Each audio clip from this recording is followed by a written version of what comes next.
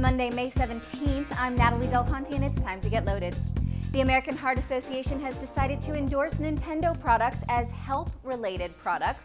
This mostly just means that you'll see the logo on the Wii, but it's an interesting development because it's the first time that a national health organization has decided to endorse a video game as something that's good for you. Ultimate Fighting fans can now stream matches live on a Roku box.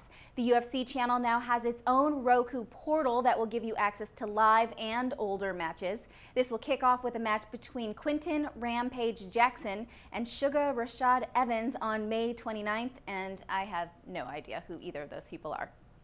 If you are the mayor of your local Starbucks on Foursquare, you are now eligible for a discount. It isn't much. The current discount is just $1 off a Frappuccino of your choice, but it looks like the discounts will change periodically.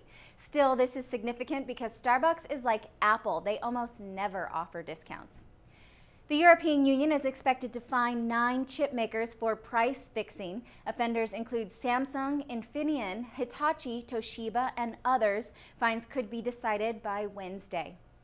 The internet makes you happy. That was the conclusion of a study by the UK Chartered Institute of IT. They studied 35,000 people and found a link between internet usage and a sense of well-being. The link was even higher among low-income communities and women. So surf away. It's good for you.